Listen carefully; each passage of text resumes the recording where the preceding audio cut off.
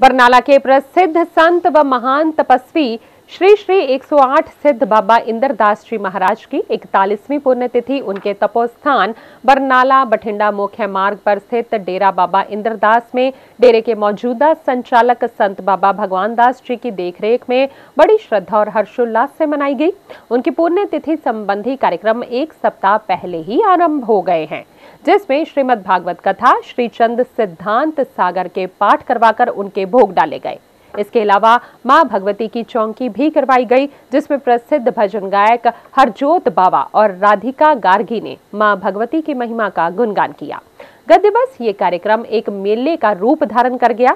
इस मौके पर शहर के एक दर्जन के करीब समाजसेवी संस्थाओं ने डेरे में आने वाले श्रद्धालुओं के लिए विभिन्न प्रकार के खाद्य पदार्थों के स्टॉल जलजीरा और ठंडे मीठे जल की छबीले लगाकर बाबा जी का आशीर्वाद प्राप्त किया। इस दौरान दुकानदारों की ओर से खिलौने व अन्य सामानों की दुकानें और बच्चों के मनोरंजन के लिए विभिन्न प्रकार के झूले भी लगाए गए।